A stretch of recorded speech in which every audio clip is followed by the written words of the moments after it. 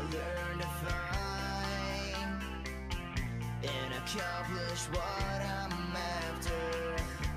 I take my time like nothing else matters. I lose my mind.